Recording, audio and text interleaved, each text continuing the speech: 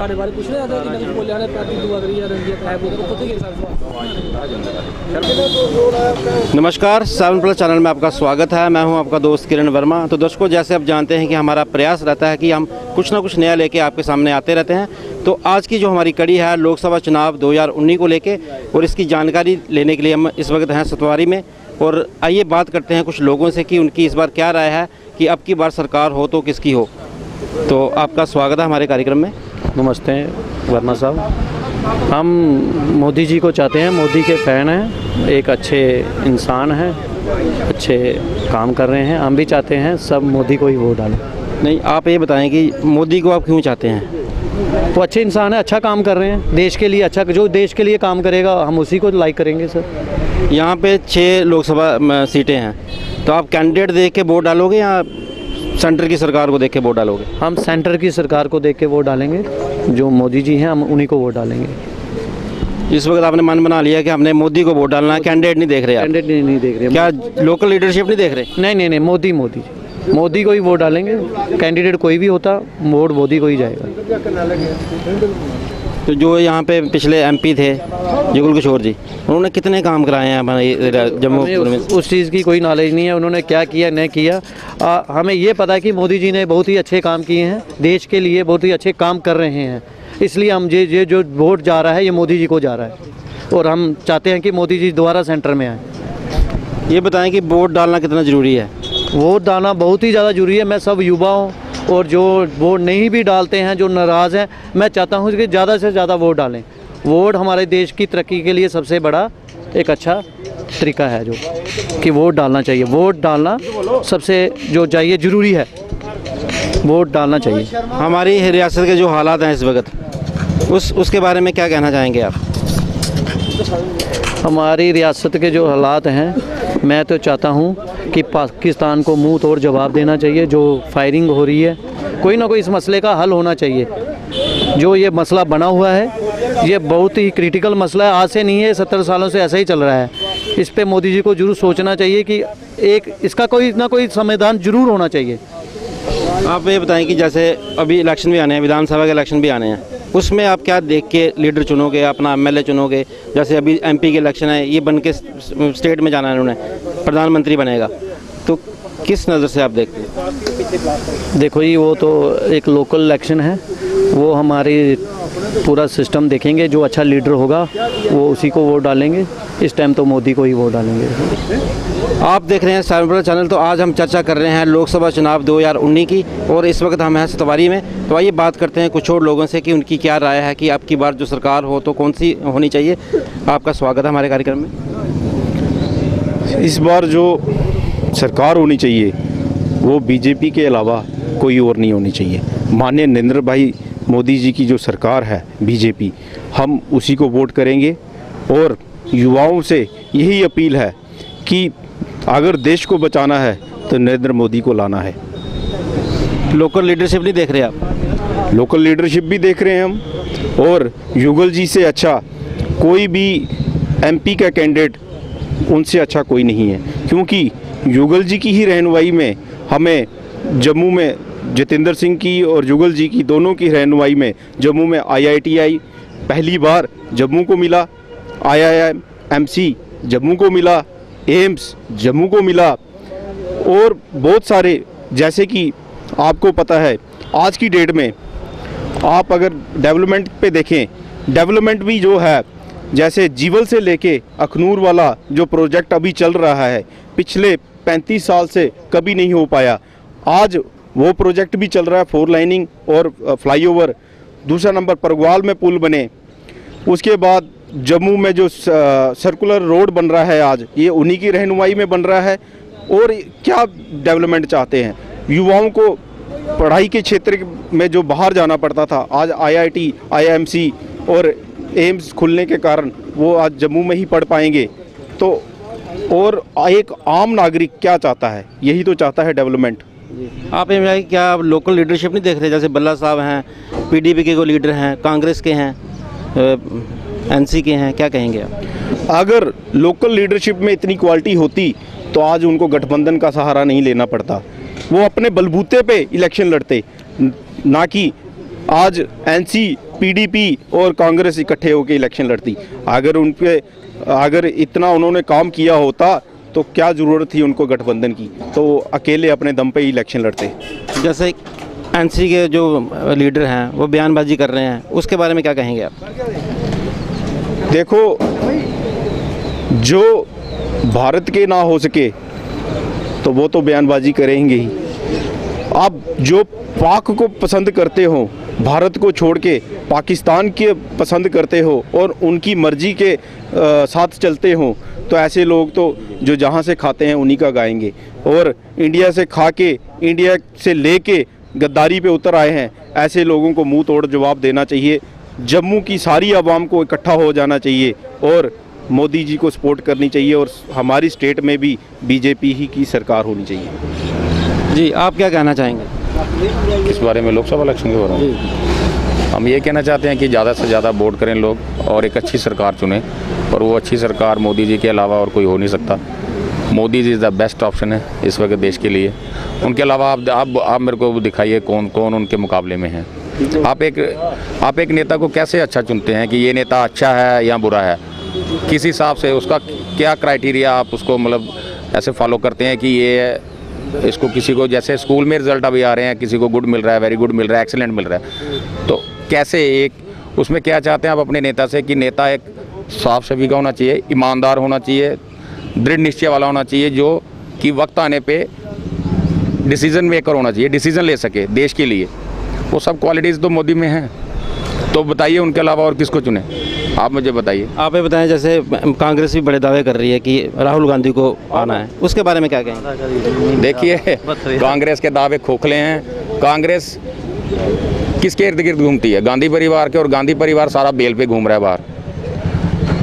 Robert Vadra आप देख लीजिए 24 बार जमानत मिल चुकी है अग्रिम जमानत।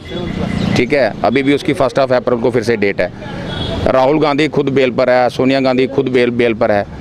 तो जिस पार्टी का खुद ही उनके बारे बेस ही कमज़ोर है उनके बारे में क्या टिप्पणी की जाए?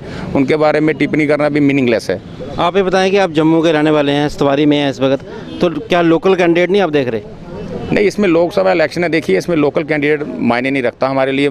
डिसीज़न कौन लेगा? लोकल कैंडिडेट थोड़ी लेगा। लोकल कैंडिडेट तो खाली ये डेवलपमेंट का फोकस करेगा, क्योंकि अपने इलाके में जो डेवलपमेंट हुई है। डेवलपमेंट तो बीजेपी ने की है आई आई दिया है आई दिया है आई आई टी दिया है, जम्मू को एम्स दिया है रिंग रोड बन रहा है। और अखनूर का रोड जो इतने पिछले साठ सालों से ऐसे ही पड़ा था सिंगल रोड था अभी वो डबल लेन डबल लेन का काम चल रहा है। तो कुछ ना कुछ तो हुआ है ना, पहले से तो अच्छा हुआ है। वोट डालना कितना ज़रूरी है? वोट डालना बहुत ज़रूरी है। हम तो सभी से कहेंगे कि वोट ज़रूर डालें चाहे किसी को भी डालें। चाहे आपके लिए कोई भी कैंडिडेट अच्छा हो उनकी नज़र में हमारे लिए जो अच्छा है हम उसको डालेंगे जो उनकी नज़र में अच्छा है वो उसको डालें। लेकिन वोट ज़रूर डालें। आप ये बताएँ जैसे अभी पीडीपी और बीजेपी की गवर्नमेंट थी हमारे स्टेट में क्या खुश हैं आप एज ए जनरल पब्लिक देखिए वो वो मुद्दा आएगा जब असेंबली इलेक्शन आएगी। जब असेंबली इलेक्शन आएगी तब हम देखेंगे बीजेपी ने क्या किया यहाँ पे। फिर हम लोकल जो जहाँ के लीडर्स हैं उनको देखेंगे। कि इन लोकल लोकल लीडर्स ने जम्मू के लिए क्या किया? तब मोदी जी नहीं होंगे।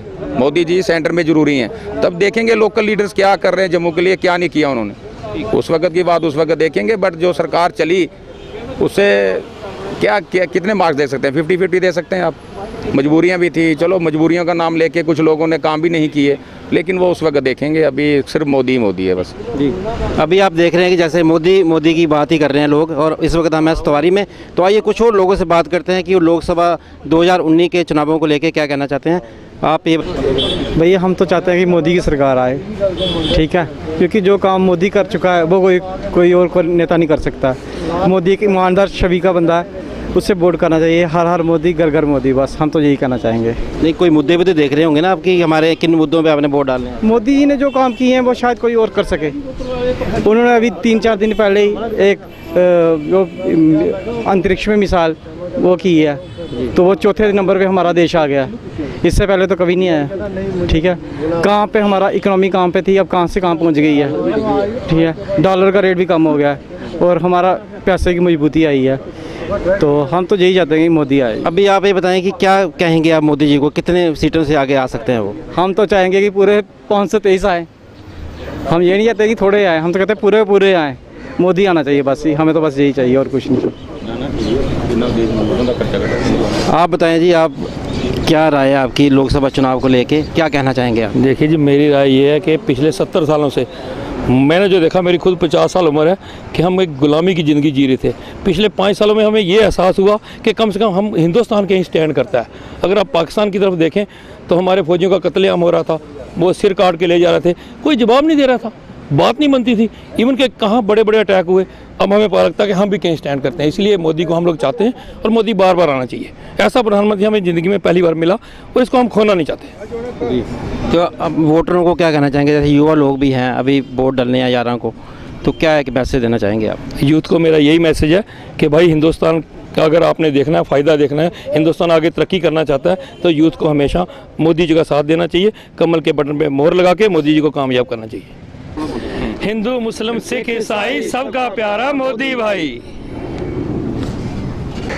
आइए बात करते हैं कुछ और लोगों से जानते हैं कि वो इस बार सरकार कौन सी चाहते हैं और दो हज़ार जो उन्नीस के लोकसभा चुनाव हैं आइए बात करते हैं उनसे। आप ये बताएँ कि जैसे अभी मोदी जी आए थे पीछे तो क्या आप कहना चाहेंगे? हम ये कहना चाहते हैं कि हिंदुस्तान में अगर कोई सरकार चला सकता है वो नरेंद्र भाई मोदी ही चला सकते हैं। उनके अलावा कोई सरकार नहीं चला सकता। जो जो काम उन्होंने किए हैं वो कोई और ना प्राइम मिनिस्टर कर सकता है और ना किसी ने किए हैं। आप ये बताएँ जैसे अभी थर्टी फाइव ए की बात चल रही है रोहिंग्यों की चल रही है क्या कहेंगे आप इसके बारे में क्या ये हटना चाहिए या नहीं? थर्टी फाइव ए हटना चाहिए। जम्मू कश्मीर को ये थर्टी फाइव ए हटने से फ़ायदा है। किस लिहाज से फ़ायदा है?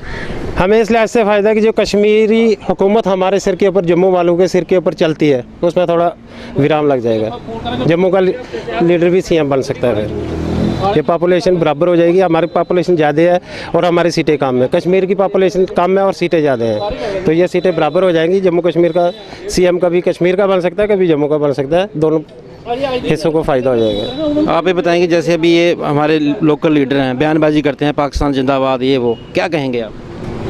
ये अपने मकसद के लिए करते हैं कश्मीर से वोट लेने इसलिए करते हैं। जम्मू में कोई नहीं करता पाकिस्तान जिंदाबाद। कश्मीर में ही करते हैं। कश्मीर से उनको फ़ायदा मिलता है इसलिए करते हैं। जम्मू में कोई फ़ायदा नहीं मिलता इससे नुकसान होता है इसलिए यहाँ कोई बोलता नहीं है पाकिस्तान जिंदाबाद। क्या मैसेज देना चाहेंगे? इस तरह के जो लीडर हैं जो बयानबाजी करते हैं हिंदुस्तान में रह के पाकिस्तान के गुण गाते हैं तो क्या कहेंगे आप? इनको सोच समझ के बयान देना चाहिए। ऐसे बयान नहीं देने चाहिए ये देश के खिलाफ है।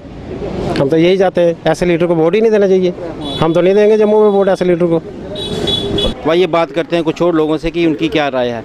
आप ये बताएँ कि आप इस बार जो वोट डल रहे हैं क्या चाहते हैं आप? कौन सी सरकार बननी चाहिए? मोदी सरकार। क्यों? मोदी सरकार क्यों? क्योंकि उसने बहुत काम करवाया हुआ है मोदी ने। मोदी ने कितना कुछ करवाया हुआ है। कांग्रेस ने क्या करवाया? कुछ भी नहीं। तो आप लोकल कैंडिडेट नहीं देख रहे कोई? नहीं नहीं। मोदी सरकार। आप बताएँ जी। मोदी सरकार। क्यों क्यों मोदी सरकार क्यों देख अच्छी है भैया उसने काम करवाया है बाकी ने क्या करवाया? दिया क्या उन्होंने हमको? मोदी ने कितना कुछ करवाया है उसने। इसलिए हम चाहते हैं कि मोदी सरकार आनी चाहिए। ये बताएँ कि आप कैंडिडेट नहीं देख रहे लोकल कैंडिडेट नहीं हम नहीं कुछ दे रहे हम सिर्फ़ मोदी को देख रहे हैं। बस सिर्फ़ क्या एक मैसेज देना चाहेंगे युवा लोगों को आप? नहीं बोल चाहते हैं कि मोदी को वोट दो उसे कामयाब बनाओ मोदी ही आना चाहिए बस। और कुछ। वोट डालना कितना ज़रूरी है? बहुत ज़रूरी है। बहुत ज़रूरी है वोट सबके लिए। सब जाएँ, वोट डालें, अपना कीमती वोट मोदी को ही दें। आप बताएँ जी। मैं ये चाहता हूँ, हमें किसी सी पार्टी से कुछ नहीं लेना। आज जो सारी पार्टी इकट्ठी हो गई हैं, एक मोदी को हराने के लिए ये गठबंधन कर रहे हैं। किस लिए कर रहे हैं? क्या इनमें आप खुद में पावर नहीं है इलेक्शन लड़ने की? एक किसी का हाथ पकड़ रहा है, एक किसी का हाथ पकड़ रहा है, क्यों? अपने बलबूते पे इलेक्शन जीते ना ये? आज एक बीस पार्टी इकट्ठी हो गई हैं एक मोदी जी को हराने के लिए। ऐसा उस शख्स में क्या है जो पूरा देश उसके पीछे चक्कर में पड़ गया कि जी हम करें क्या? कहाँ जाएँ? कहाँ, किस बिल में घुसें जाके? ऐसा क्यों होना चाहिए? हमारा वोट मोदी को ही है और मोदी को ही जाएगा। मैं आपके चैनल के मदद सभी को अपील करना चाहता हूँ कि अपना जो कीमती वोट है ना नरेंद्र मोदी जी की दें और किसी भी पार्टी को मत दें। और कोई पार्टी इस वोट के काबिल है ही नहीं। आप ये बताएँ आप कितनी देर से काम कर रहे हैं यहाँ पे? मुझे 25 साल हो गए जी काम करते। ये दुकान 50 साल पुरानी है। मेरे फादर साहब पहले काम करते थे उनकी डेथ हो चुकी है उसके बाद मैंने जो दुकान संभाली काम करने के लिए। आप ये बताएँ आप लोकल लीडरशिप नहीं देख रहे? मैं लोकल किसी को नहीं देखता। मेरा वोट सिर्फ़ और वोट मोदी जी को ही जाएगा। मेरे घर में आठ वोट हैं आठ के आठ मोदी जी को जाते हैं उनको ही जाएँगे। जैसे बड़े बड़े दिग्गज यहाँ पे खड़े हैं वह लोकल कैंडिडेट हैं जो हमारे, उनको नहीं आप देख के वोट डालेंगे। आप कैसे कहते हो ये दिग्गज हैं? ये दिग्गज नहीं है, ये गीदड़ हैं, जो एक दूसरे का हाथ पकड़ रहे हैं। अगर दिग्गज होते ना तो आमने सामने अकेले अकेले लड़ते जाके। एनसी, कांग्रेस, पीडीपी गठबंधन कर रही है, किस लिए कर रही है? मोदी जी को हराने के लिए। अगर दिग्गज होता, एक अकेला अकेला लड़ो ना उनके साथ। किस लिए गठबंधन कर रहे हो? क्या एक मैसेज देना चाहेंगे? वोट डालना कितना ज़रूरी है? वोट डालना इतना ज़रूरी है जितना कि खाना खाना ज़रूरी है बच्चों को स्कूल भेजना ज़रूरी है दुकान खोलना ज़रूरी है वोट डालना उससे भी ज़्यादा ज़रूरी है। अपना वोट खराब मत करें और ज़्यादा से ज़्यादा पोलिंग करें। आप ये बताएँ कि इस बार जो इलेक्शन होने जा रहे हैं 2019 के तो क्या सोच के आप वोट डालोगे? हम तो वोट मोदी को डालेंगे। हम तो वोट मोदी को डालते हैं कि वो एनसी पीडीपी को नहीं डालेंगे। ना कांग्रेस को डालेंगे। क्योंकि ये लोग देशद्रोही के लोग हैं। ये देते ही बोर्ड का एनसी के पाकिस्तान के जिंदाबाद के नारे लगाते हैं। हम इनको नहीं देंगे। आपका स्वागत है हमारे कार्यक्रम में। आप ये बताएँ कि इस बार इलेक्शन है एम पी के। तो आप वोट किसको डालने जा रहे हैं? लोकल लीडरशिप को देख के डाल रहे हो या कैंडिडेट देख के? हम तो देखेंगे पहला नंबर देश में कौन काम करने वाला सही बंदा है और हमारे देश के जो प्रधानमंत्री है अभी एक ही लहर चल रही है वो है नरेंद्र मोदी की। तो वो क्या है कि वो अभी सारी दुनिया का यही मकसद है कि वो कहते हैं एक मौका दिया जाए। और एक मौका है वो प्रधानमंत्री नरेंद्र मोदी साहब को दिया जाएगा फिर दोबारा कि हम वोट डालेंगे मोदी साहब को। और मोदी साहब को जिताना है और दे पूरा देश चाहता है कि उन्हीं को जिताना है। आप कैंडिडेट नहीं देख रहे? नहीं हमने देश को देखना है जो देश के काम आने वाला है जो देश को चलाएगा हमने उसी को वोट देना है। तो बाकी हम किसी पार्टी का ये नहीं रखते ये हमारा दुश्मन है ये दुश्मन है वो नहीं है। बाकी अपने दिल की मर्ज़ी है वोट कहाँ डालना और कैसे हमने उसका बटन ऑन करना है। वो वहाँ आप ये बताएँ कि कुछ लोग हमारे यहाँ के लीडर हैं जो कह रहे हैं कि पैंती ये अगर हट जाता है तो हमारा एक स्पेशल स्टेटस जो है ख़त्म हो जाएगा। तो आपकी क्या राय है?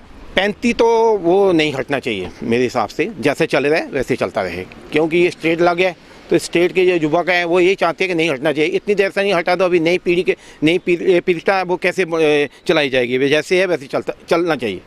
तो दर्शकों, ये तो था हमारा आज का विशेष लोकसभा चुनाव 2019 का खास कार्यक्रम। हमें उम्मीद है कि आपको ये पसंद आया होगा। जैसा आपने देखा कि लोगों का कहना है कि हम कैंडिडेट नहीं देख रहे, मोदी वेब देख रहे हैं, हम सेंटर में मज़बूत पीएम चाहते हैं। तो अब ये तो आने वाला वक्त ही बताएगा कि कौन सा प्रधानमंत्री हमें मिलता है। हमें उम्मीद है कि आपको ये हमारा आज का अंक पसंद आया होगा। अगले सप्ताह आपसे फिर मिलेंगे एक नई चर्चा के साथ। तब तक के लिए हमें आज्ञा दीजिए। नमस्कार।